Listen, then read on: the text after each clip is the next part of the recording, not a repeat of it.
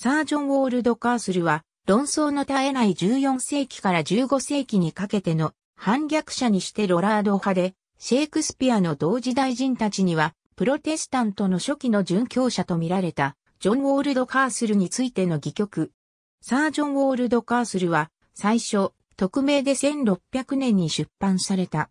印刷したのは、バレンタイン・シムズで、出版社は、書籍商、トーマス・パビアだった。1619年に第2版が出て、作者はウィリアム・シェイクスピアとされた。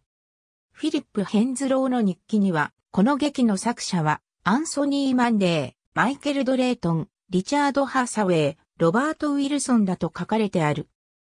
1664年、出版社、フィリップ・チェツインドによるシェイクスピアの Third Folio を第2刷に追加された7つの戯曲にサージョン・ウォーレド・カースルも含まれていた。イギリスルネサンス演劇の他の歴史曲同様に、サージョン・ウォーレド・カースルは実在の人物だった。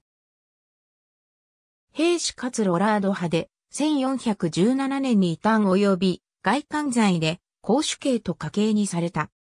チューダー朝時代のプロテスタント改革に影響を与えたテキスト、ジョン・フォックスのオクトモニュメンツ、別名、殉教者伝にもオールドカースルのことが書かれてある。エリザベス朝初期の歴史劇、 The Famous Victories of Henry V にもオールドカースルは脇役として登場している。この劇はシェイクスピアがヘンリー4世、ヘンリー5世を書く時の材源にしたと一般に考えられている。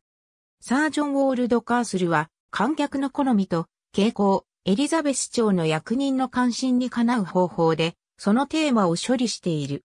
オールドカースルは政治的でなく宗教的な反対者として描かれている。オールドカースルが敵外心を燃やしていたのはローマカトリック教会でヘンリー5世には王としても人としても忠誠を通し続けた。この劇の仇役はオールドカースルを召喚するクランの援助を受けたロチェスター司教である。反逆者と共謀者はヘンリー5世同様にこの芝居でも活動的だが、オールドカースルは彼らと慎重に距離を置いている。この劇で喜劇的キャラクターを務めるのは、フォルスタッフを模倣した、しかし見劣りするサー・ジョン・ロサムで、変装したヘンリー5世と交流する。後半は、オールドカースルとその妻を追跡するロチェスターと、夫婦の脱出が描かれる。そして最後は、投獄を免れた、オールドカースルで、一時的だがポジティブに幕を閉じる。1619年版は、ウィリアム・ジャガードの、いわゆる、 False Folio に収められた。ありがとうございます。